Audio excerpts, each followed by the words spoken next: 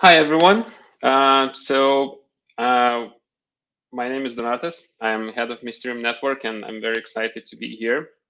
Uh, and I also have Mantas, one of our tech leads with me here as well. So just uh, quickly about me, uh, at Mysterium Network, as mentioned, uh, I'm managing quite a lot of different things, but my true passion is, is product development. And I'm really glad we can have this workshop here today, explain what Mysterium currently working on, and also invite all of you to realize your ideas on top of Mysterium Network. And we'll try to show how easy is that with this workshop. Mantas, do you want to tell a few words about you?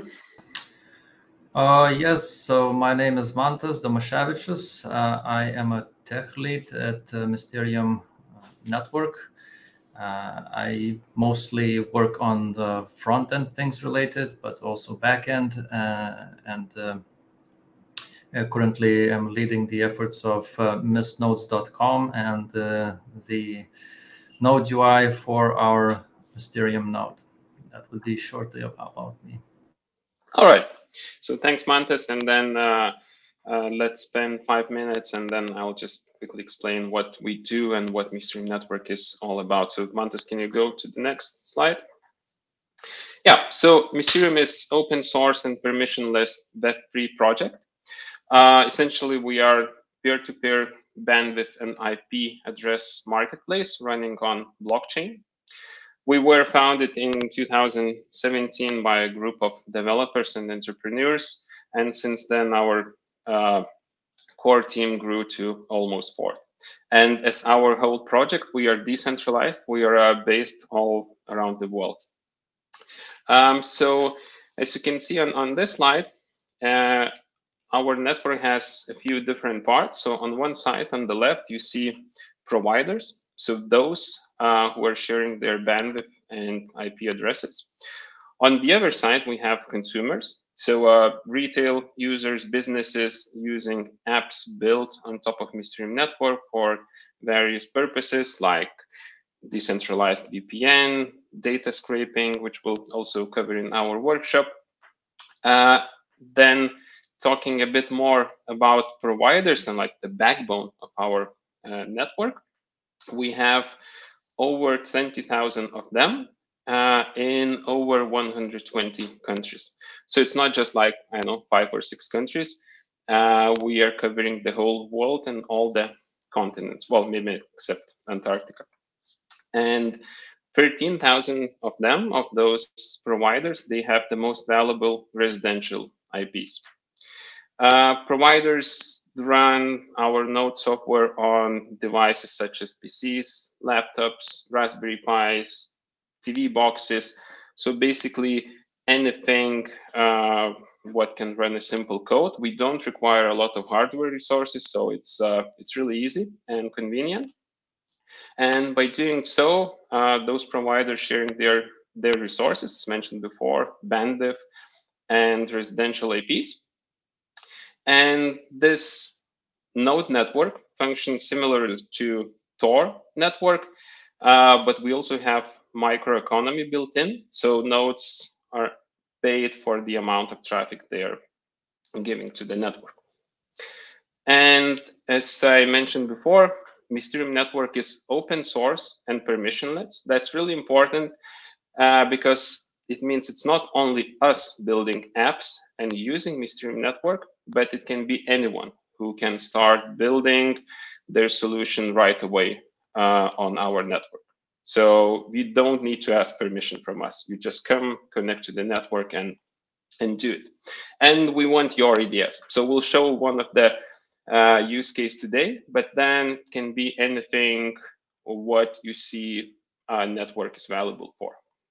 So uh, today we'll focus on one of the use cases, as I uh, told before, data scraping, and we'll show how easy is to build a simple data scraping app and start using Mysterium Network to access data you need uh, in also at different countries.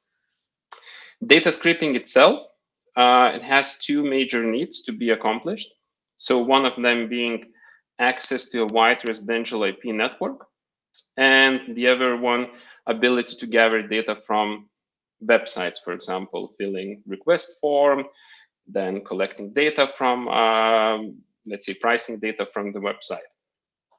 And Mysterium Network provides you with out-of-the-box pay-as-you-go solution for the first. So you get instant access to residential IP network and scrape data from multiple countries around the world. And that's important because let's say if you want to scrape pricing data, uh, which varies a lot compared from different regions, and also it varies a lot compared to if if you take like if you scrape it from data centers, you probably won't be able to do that. You will need real residential IPs to do that. And before we jump to the actual workshop, and I hand over to Mantas, just wanted to mention that we are also ready to support your idea and provide seed funding for it. So if you need more information about it, just contact us after the workshop or also ask us in Q&A session after this workshop. So yeah, Mantas, stage is yours. Thank you, Donatas.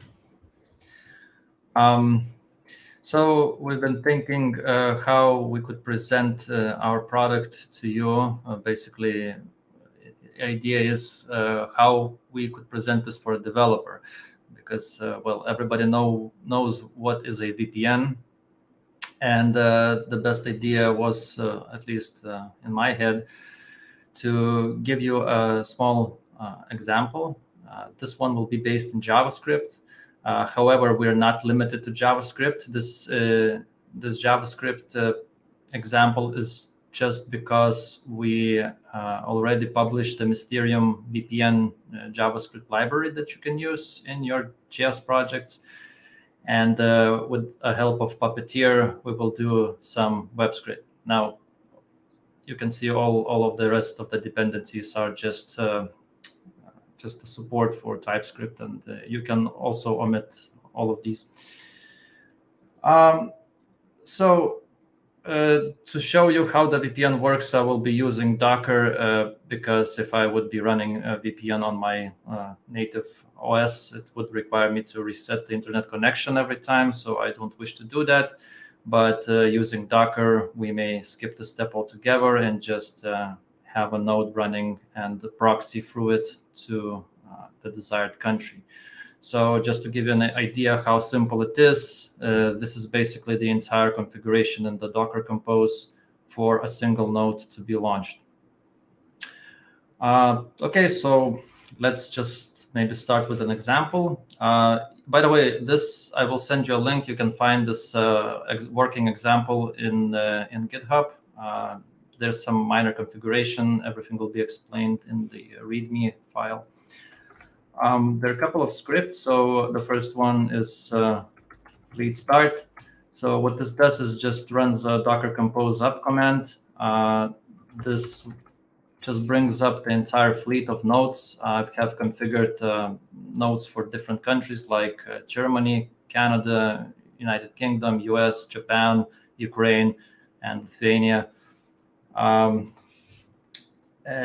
the idea is to have all these nodes running uh, concurrently so that the scraping use case could be uh, achieved faster, I guess.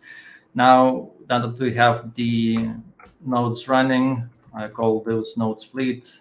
Uh, we should also issue a command, which is now uh, will be using the Mysterium VPN JS to instruct each node to connect to the respective country.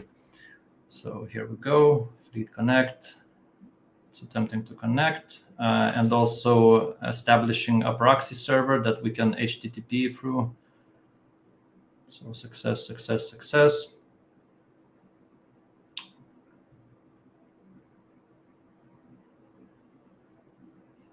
And just to mention here, like any of these countries could be one of those 120 countries plus we support. So Mantas now took uh, seven, seven of them, but you can, for example, scrape out of 100 countries if needed.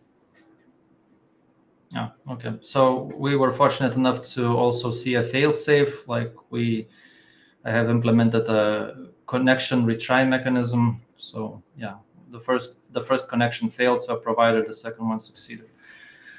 Uh, okay, so let's start with the um, most basic use case, uh, Google. Uh, so we're just gonna run a script that basically uh, launches seven browser instances, each connected to a respective country, and each each will just enter my location, wait a bit, and take a screenshot.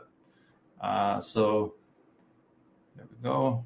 It's finishing up. So the idea would be to demonstrate that we are actually connecting to the internet through different countries, different locations altogether. Uh, now, all of the uh, all of the rest of the examples will also be just screenshots. Turns out, uh,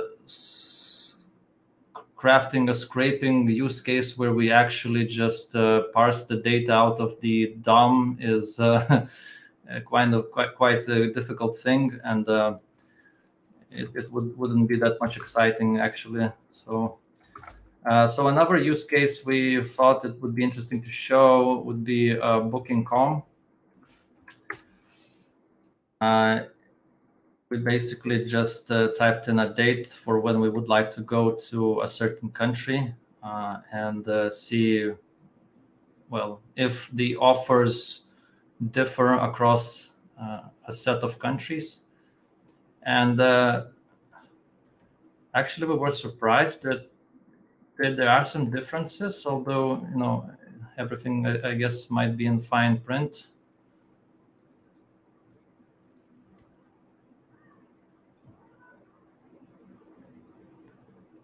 Okay, so I think that this, yeah, the screenshot was taken. It's just uh, some small issue. Uh, so here you see we can um, there's like a, a, Canadian version of the query. Then there's a, a German version of the same query. And uh, I have a suspicion that 2,631 Canadian dollars is much less than 2,656 euros. So, you know, maybe there's some discount in, in here if you're willing somehow to order this hotel through Canada. Uh, we can also go further Great Britain, so that might be similar. Um, also, uh, strange, Japan doesn't even have that listing. And this one is from Ukraine. Yeah. So this this is sort of like a, a, a visual, uh, maybe you know, vacation planning that you can do with this simple example if you're into this kind of thing yeah, and for example, other uh, other ones like which uh, are common data scraping use cases are scraping, uh, let's say, car rental prices. Those are definitely different looking from uh, from different countries. For example, if you're booking car uh, in Europe from US, you will get the lower price compared if you're booking from Europe in Europe. Uh, and then there are quite a few websites already trying to get used of this. So providing this intermediary uh, service where uh, you book from uh, through them, you get the better price when booking directly. But then, essentially, what they're doing in the backstage, they are booking through the different region, like through the different country. Let's say through US in Europe, and then just reselling it uh, it to you. Uh, so these examples we're showing right here, uh, they're kind of like the most common ones, but there are lots of different use cases where like uh, which can be used to, to collect data uh, in, in the internet. Uh, uh, other um, other use cases for scraping are also sometimes the web pages cache results you get, like for a certain IP address. So by going for different IPs, you can like overcome the caching issue and get the most recent data, like say real estate uh, prices and, and, and, listings and whatnot. Uh, then again, we're not a scraping company, we're a VPN company. We're trying just to show you um, how easy it would be to integrate like scraping use case uh, using the Mysterium node.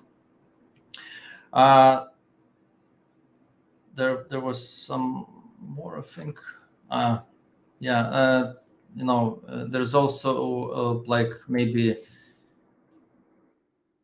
what what's that term? Uh, the echo chamber effect that you can like uh, try to look around what what is put up up, front in say YouTube uh, when browsing through different countries, like what topics are relevant there for I don't know users or that partic- particular residential IP.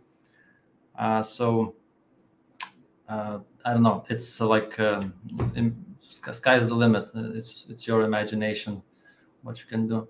So uh, these examples are nice and uh, whatnot. I feel so. One last thing uh, I at least wanted to show you is how much code does it take to have um,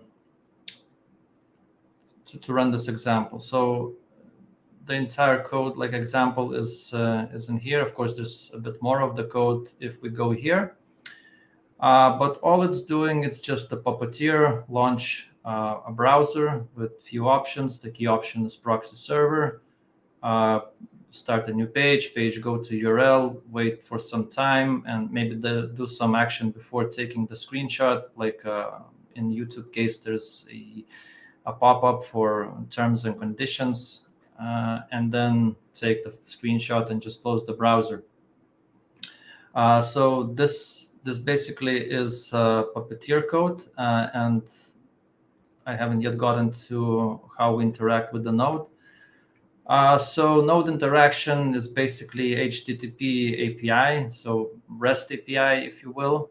Uh, using our library, this is uh, an entire line of code that basically builds the API uh, object, and then you can just interact with our API.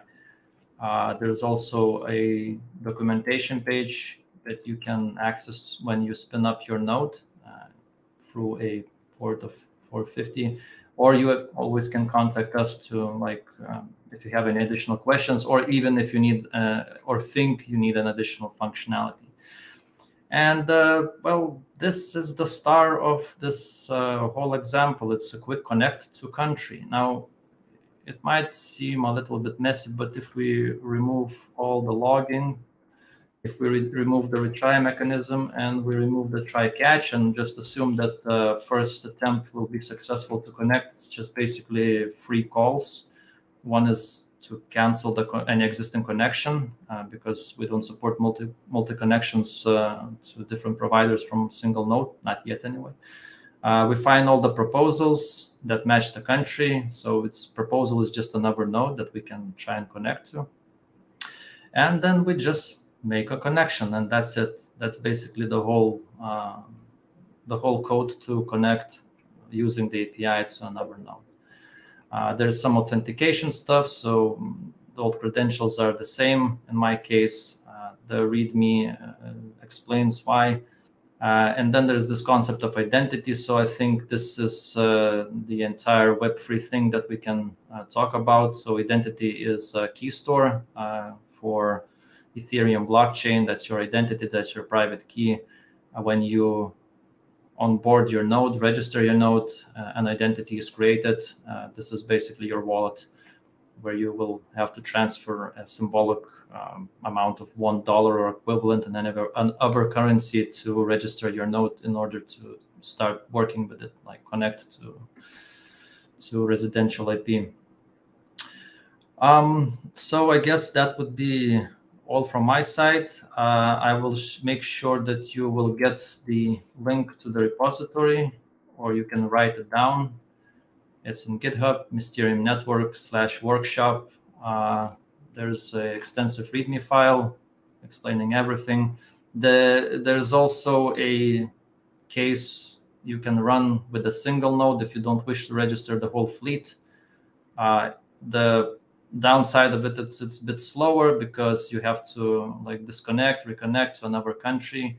Uh, fleet is uh, obviously faster. It's running concurrently through seven countries but you can play around with it. Uh, i don't know. And if you have any questions you can either somehow contact me through my handle or we have a discord server.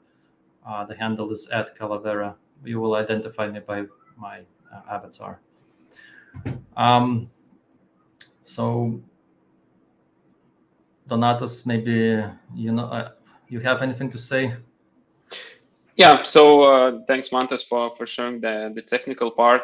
Uh, and basically, what we wanted to show is that you just need to have your idea, like what you want to do, what you want to scrape, and then we can give you the tool which enables you that enables access from different countries, from uh, different regions, from residential IPs to the data you need, and you can have the data you want in uh, in a few minutes. Uh, you don't need to build the solution from scratch. Uh, you don't have invest a lot of time in this. We already did that a lot, invested actually a lot of time into building this, and now you can have this permissionless and open source solution for you. So of course you have to pay for the usage of the network, but then the prices per gigabyte they are very very low, I would say. So uh, I know for for this uh, uh, for this case we probably did didn't even use uh, one cent or even less. Um, so yeah, so I think now we would be open for uh, any questions you might have.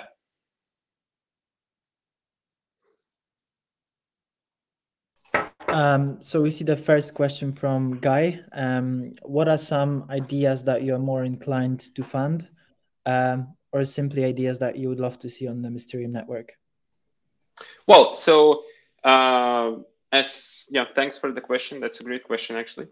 And uh, in general, talking about Mysterium network, um, as as we talked before, it was built as a peer-to-peer marketplace. So we have providers selling their, their traffic and, and bandwidth, and on the other side, we have consumers. So the idea can be anything what uses the network. So it can be anything what needs, uh, let's say, residential IP pool. So you, uh, anything what would need access to the internet through residential IPs, not the data center IPs, what was the common use case before for data scraping. Now you need real residential IPs because most of the um, let's say websites and then companies they are now blocking all those data center IPs and you need to go through real connections.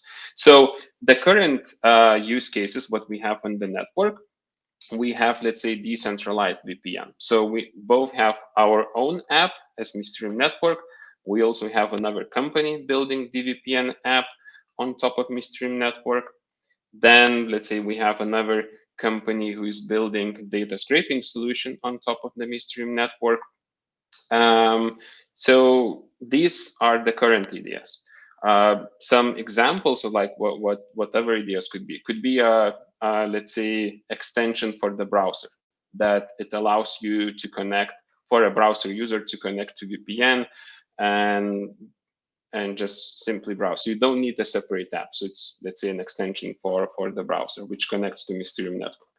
Um, another could be integration with the wallet so that it's more secured compared just to like a plain internet access.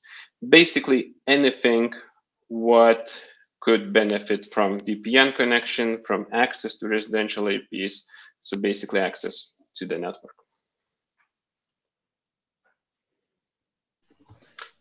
Perfect. Um, so could you tell us about, uh, we, we see another question from Yaram, mm -hmm. uh, some of the successful products built on top of your network? Sure. So as, as just mentioned, I just uh, can go a bit deeper into them. Uh, the first product which we built on Mysterium Network, that was our own app and it's it's available. You can download it from uh, let's say Play Store on, on Android. You can use it on desktop on Windows or on, on your Mac, and that's decentralized VPN. It's called Mysterium VPN. Uh, and that directly uses the network. So it allows you to have VPN connection by connecting to any node in any country uh, around the world. Then uh, we have the third party app called Portals, which is using uh, uh, well, which is developing the same decentralized VPN uh, use case, but in a, a bit different uh, model. So our Mysterium VPN, it's pay as you go. So basically, you just pay for the amount of traffic you you need. That app, Portals, is using subscription model. So uh, it's more similar to the all other big VPN players, where you just pay some amount of money per month, and then you can use as much VPN as you need. So these are two different VPN solutions we have on the network. Then, as mentioned, we have uh, another company uh, building data scraping tool on the network, and then they're also uh, buying network in bulk and reselling it to other VPN companies who need access to the residential IPs. So it's not just connecting to one node, but in general buying a network in bulk and reselling it. So these are the current use cases, but yeah, as mentioned, can be any ever what comes to your mind. Perfect. Sounds sounds very interesting. And the next uh, question we have is very general, um, but you are Web3 expert. So, um, what are some of the trends that excite you the most in Web3? Uh, well, that's a that's a really broad question for sure. Yeah. Um, like one from from our perspective, from Mysterium perspective, uh, what excites uh, us a lot is that by having decentralized solutions built on on blockchain, uh, as for example our network, we can open the internet. So we can open the internet to in those countries where internet access is restricted. Uh, it might be censorship, which sometimes, of course, is hard to overcome. For example, China is investing a lot in, in, into blocking free internet access, and it's a constant battle to overcome this. But then there are countries who are just restricting parts of it, and using VPN connection just allows to overcome it. And in this case, the more important part that it's decentralized. So it's regular users using VPN connecting to other regular users providing that. So it's it's uh, it's a peer-to-peer solution and uh, having it on blockchain, which also enables peer-to-peer payments, so that consumer is paying directly to to provider. I think that's one of the nicest the free things instead of having some centralized server taking money paying to the others and here it's just the real people economy how to say that so that's definitely one of the nicest thing I, I could say about the whole all the web3 projects. And in general this decentralization like having decentralized cloud providers uh, having decentralized computing providers and so on. So it's it's really nice to see how uh, people all around from world they can contribute to building let's say this decentralized cloud solution. Instead of having some centralized servers here everyone can contribute. So it's like this contribution from everyone i think is the key thing here. Yeah that's that's that's a amazing point to be honest. To finally be able to transact uh, between peers and mm-hmm. we do mm-hmm. not rely on governments uh, that do not often have the best intentions.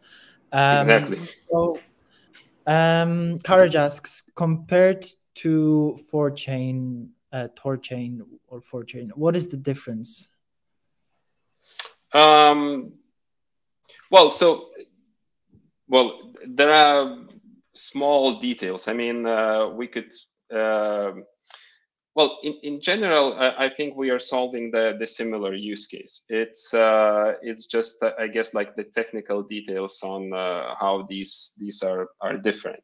and then I think one of the key things is that we are open to multiple use cases of, of, the network. So it can be a VPN connection, can be data scraping connection, can be this extension for the browser. So we're inviting everyone to build on the network to bring their ideas, and we also offering the seed funding to finance those ideas. Uh, but in general, we we see the projects appearing which are solving similar problems, and we are actually really happy about that. And and we are uh, we also want to to have partnerships with these projects. I mean, Web3 is it's not just about cooperation between people around the world. It's also about cooperation between companies. And I think it's it's also one of the key things because in the traditional world, companies are competing a lot, and in that free space, there's a lot of partnerships and a lot of contribution uh, to each other projects. Perfect. Um, and then another question comes from Mah uh, Prasad, Maha Prasad. Sorry. Uh, how do you currently manage the host IP? Is it owned by you, or do you have a partnership model? Um, I'm just trying to to understand. Uh, do you do you have in mind the IP address? I mean, if uh, you're sharing your your IP address, it's it's still yours. So you're basically just getting as a provider, you're getting paid for the traffic which goes through your IP address, uh, but you're not giving that ownership in, in any way. You are basically think, just think of it yeah. as uh, you're mining our tokens just by sharing your internet. Yeah, exactly. I mean, instead of using computing power, is just allowing someone to go through your node, through your internet connection to access internet. Perfect. Um, I think quite a lot of our attendees are interested in your fund. Uh, do you invest? Is it uh, agnostic in terms of the location? So can attendees, for example, from the US, also be funded, or what are the requirements? Uh, no, we, we we are open to to fund projects all around the world. Uh, we we don't have specific regions. Uh, I mean, of course, in terms of support, uh, our team is mostly based in Europe, so it's uh, for us it would be easier to support European projects. But anyway, we are open to invest in, in the projects all around the world. So it's it's no mm, no restrictions to invest to for the project. Let's say from US or like from from Brazil, um, from Singapore, and, and so on. And are there any sectors you mentioned? Of course, uh, you mentioned some before, but are there some use cases that you would be particularly interested about, or you would encourage startups tackling certain issues uh, to apply? Um, no, not necessarily. I mean, those I mentioned, those are the ones we are currently building on. But then there are, of course, these um, things like censorship resistance. So if uh, you're building some kind of tool which which you want to overcome this censorship in, then let's say particular country or like the, the company and then so on, and you need access to uh, residential IPs, you need access to the network. So to distribute your connection uh, through a lot of different IPs for a lot of different countries, that would be interesting to, to work on. I mean, uh, for us, it's not just about to make money. We are also we really want to make internet open again, as it was some years ago when it was invented, and then we got more and more of these restrictions. So uh, I would say just like out of I know personal curiosity, I would really support projects trying to solve this. But in general, we're open to anyone who have any use case using Mysterium network. Okay, uh, perfect. Guys, uh, feel free to ask some questions in the chat, or if anyone would like to join the uh, stream, you can request to join the stream on the top right of the screen and just ask questions in person because uh, that's much more fun than just the chat. Um, another question. Um, what are some interesting use cases of uh, web scraping? You mentioned a few already in that mm-hmm. in that workshop. You showed us a few. Could you maybe expand on that? Um, sure. So there are use cases which we're going for a while. So we have a lot of of uh, flight ticket booking platforms. And in the back stage, what they're doing, they're also trying to compare the prices from different countries, from uh, different uh, booking locations, and so on. So trying to find the best price. The same goes for car rental prices.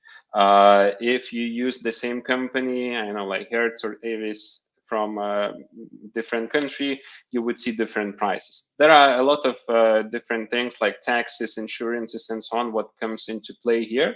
Uh, but then booking from a different country can get a better price.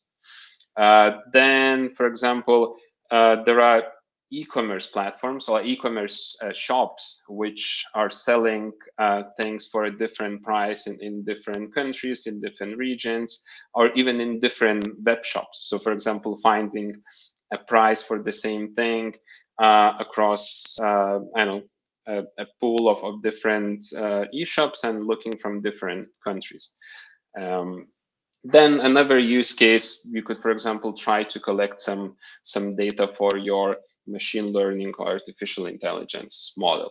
Uh, and then sometimes that uh, would also require connection from residential IP rather than from the data center.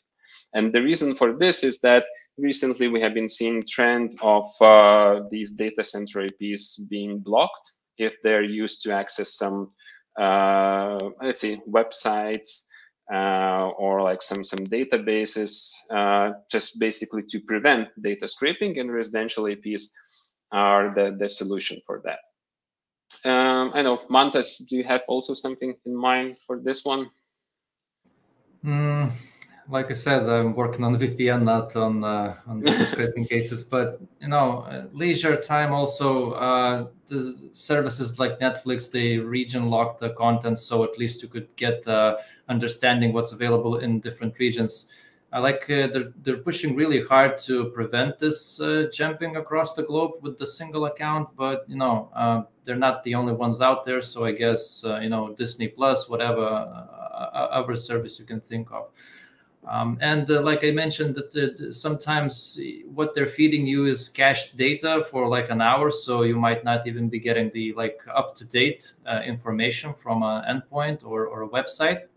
So uh, to mitigate this, you could also use, uh, you know, proxying uh, through a different provider to like get uh, more fresh data. So that that these these two come to mind moment. Yeah, and maybe one last thing to uh, to mention is, let's say, if you look for for news, just ge general news, and then the country you're looking from, uh, sometimes you would actually see different news, like different news being uh, like different topics being on top. Uh, and then that's especially important for those countries where there are some restrictions in terms of content, in terms of services. Uh, so that would also allow you to actually get uh, well access to the real information and at least to compare it between different uh, countries what what you what you can see even on the same website on, on news website I, I mean. Perfect. So it's all about democratization of data and the transparency. Um, yeah definitely see, one, one of the things yeah. Yeah. Uh, pedro is is joining us here. Hi pedro. Hi pedro hey, sorry, services. I, I uh, so that would also allow you to actually get. Pedro, can you hear us?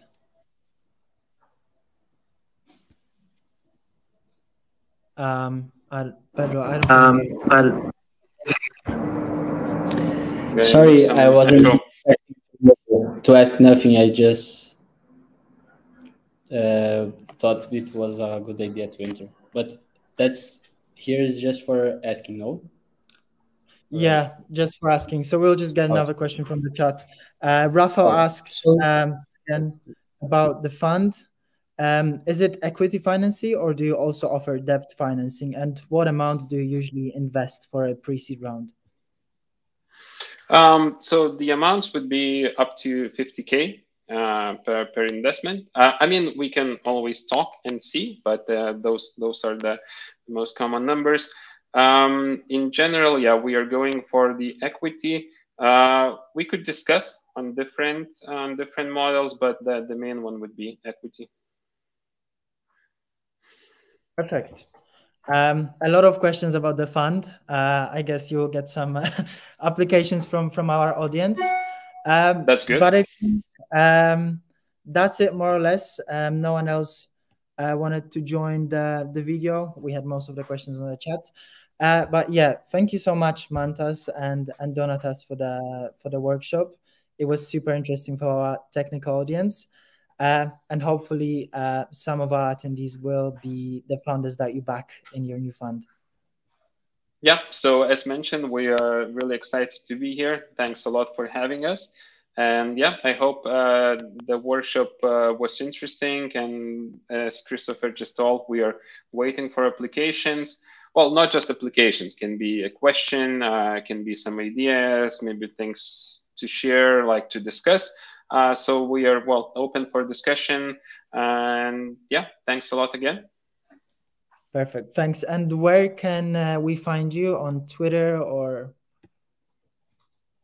Um. So if if if you just go to mysterium.network as the main website, so we have all the links there. Perfect. Thanks so much again.